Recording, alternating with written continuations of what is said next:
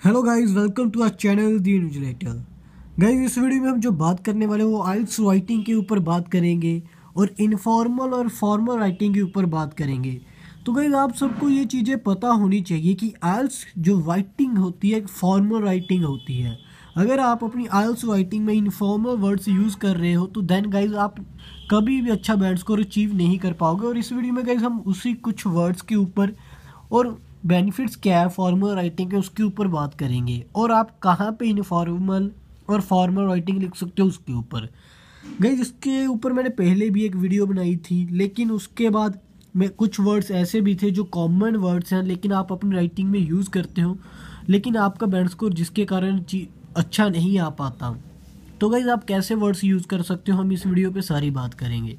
First of all guys आपको formal writing क्यों use करनी चाहिए in your IELTS writing guys एक जो फॉर्मल राइटिंग होती है, वो एक प्रोफेशनल राइटिंग होती है। मीन्स वो मोर एक्यूरेट होती है और रिस्पेक्टफुल होती है।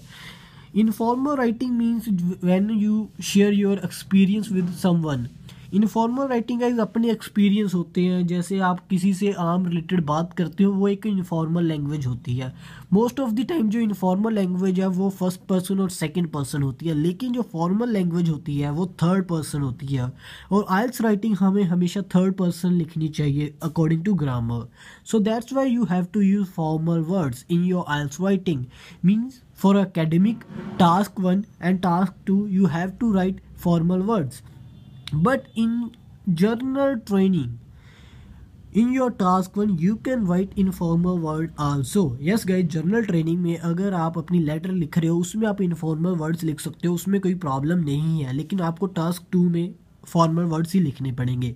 Guys they are some few words which you use in your IELTS writing but they are informal उसकी जगह आप ऐसे वर्ड्स यूज़ कर सकते हो लाइक एंड एक इनफॉर्मल वर्ड्स है and I know most of the peoples को ये चीज़ पता ही नहीं होगा। तो guys and as well as but whereas while so in this manner thus for sure certainly definitely assuredly many several numerous get receive keep retain tell disclose begin commence check verify enough sufficient if should if or not, whether or not, make sure, ensure, follow, duly observe. तो भाई, these are the some common words which you use in your IELTS writing.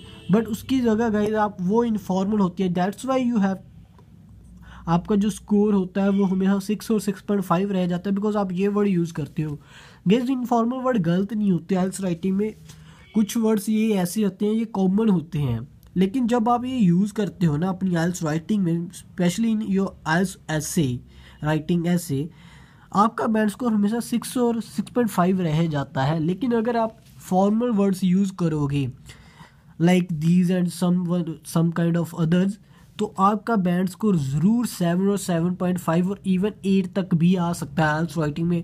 अगर आप अच्छी professional language लिख रहे हो तो guys you can also score nine bands in your IELTS writing उसके लिए गाइज़ आपको अपनी वर्ड्स के ऊपर ध्यान देना बहुत ज़रूरी है और आपको फॉर्मल लैंग्वेज ही लिखनी पड़ेगी।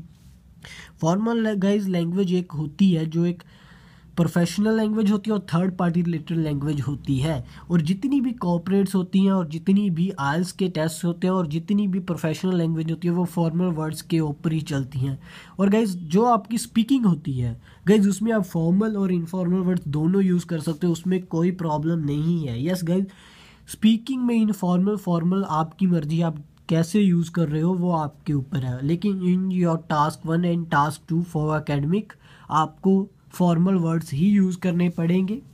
एंड फॉर जनरल ट्रेनिंग आप अपनी लेटर में इनफॉर्मल वर्ड्स लिख सकते हो, लेकिन for your task to you have to use formal words and guys if you like this video then please hit the like and also guys, please comment on this video and share this video with your friends and other IELTS candidate because अगर आप share करते हो तो guys उससे एक boost मिलता है मुझे भी. तो गाइज़ ज़रूर शेयर करा करो इस वीडियो को and also subscribe the channel the इंजलेटर and also give your valuable comments in comment box and guys हमारे डिस्क्रिप्शन में और सोशल मीडिया हैंडल्स है जहाँ आप हमें अपने क्वेश्चन पूछ सकते हो और मैं आपको जल्दी से जल्दी आंसर करने की कोशिश करूँगा। तो गाइज़ डिस्क्रिप्शन में जाओ और वहाँ हमें फॉलो करो।